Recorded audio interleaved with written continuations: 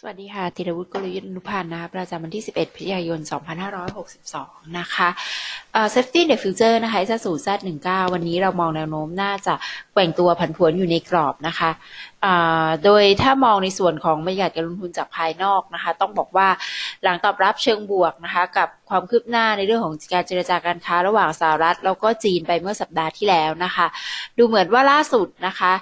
เมื่อวันศุกร์ก็มีรายงานข่าวว่าแบบดีทรัมป์เนี่ยแสดงท่าทีไม่เห็นด้วยกับการกับจีนนะคะในการยกเลิกภาษีการนำเข้าสินค้าในการที่จะทำข้อตกลงกันเร็วๆนี้นะคะ ก็ทำให้เกิดความไม่มั่นใจนะคะต่อการที่จะบรรลุข้อตกลงเฟสแรกนะคะ ที่มีข่าวมาในช่วงก่อนหน้านี้ แล้วก็ดูเหมือนว่าตลาดจะมีการตอบรับในเชิงบวกนะคะสำหรับในส่วนของตลาดหุ้น ก็คงจะต้องจับตาดูกันต่อนะคะ อย่างไรก็ตามเนี่ยเราเห็นในเรื่องของตัว risk on ที่เกิดขึ้นนะคะก็คือ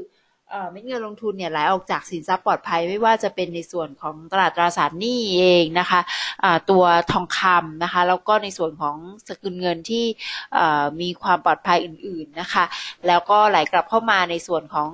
ตัวตลาดหุ้น แล้วก็ในส่วนของตัวดอลลาร์ อินเด็กซ์นะคะ ก็เห็นการแข่งข้าขึ้น ก็ลุ้นกันต่อนะคะในส่วนของ Economic Club of New York นะคะ งานที่จะเกิดขึ้นในวันอังคารนี้นะคะ ว่าจะมีคอมเมนต์ออกมาอะไรเพิ่มเติมนะคะ จากทางสหรัฐนะคะถ้าไปดูในส่วนของปัจจัยที่มองว่าน่าจะยังช่วยหนุน ตลาดอยู่ก็คือเรื่องของแรงซื้อของนักทุนสถาบันนะคะ เพราะว่าสัปดาห์ที่ผ่านมาเนี่ยค่อนข้างชัดนะคะ มีการเข้าซื้อต่อเนื่องในตลาดหุ้นบ้านเรานะคะ11,618 ล้านบาทนะคะ ก็มองว่าส่วนหนึ่งเนี่ยเราก็น่าจะเป็นส่วนใหญ่ด้วยนะคะ จะเป็นเม็ดเงินของ LTF ที่เข้ามานะคะสำหรับช่วงไตรมาสสุดท้ายปลายปีนี้นะคะ ประกอบกับสัปดาห์นี้เองเนี่ยจะมีงาน Set in the City ด้วยนะคะ เรามองว่าน่าจะเป็นอีกแรงกระตุ้นในเรื่องของเม็ดเงินจาก LTF ให้ไหลเข้ามาในตลาดหุ้นเพิ่มเติมนะคะ ดังนั้นเนี่ยจึงมองว่าตัว SET50 Index Futures นะคะสูตร Z19 เนี่ย มองถ้าย่อตัวลงมาหรือว่าพักตัวลงมาก็ไม่น่าจะลึกนะคะ ให้แนวรับแถวระดับ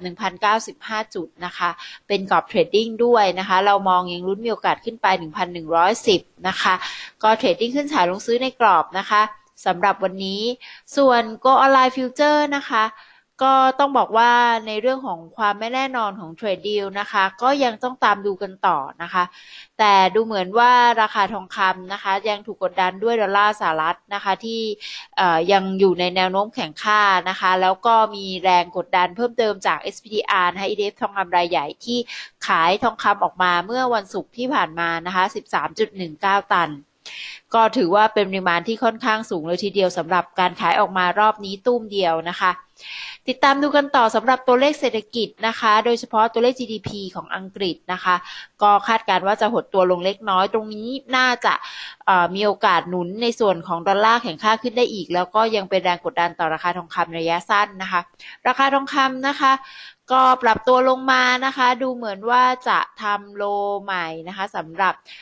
ในรอบ2-3เดือนนี้นะคะ1สี่ห้าหกนะคะลงไปตรงนั้น แต่ว่าช่วงเช้านี้เนี่ยมีดีขึ้นมาเล็กน้อยนะคะเหนือระดับหนึ่งพันสี่ร้อยหกสิบเหรียญนะคะ ยังอยู่ในช่วงการพักฐานอยู่นะคะ ดังนั้นเนี่ย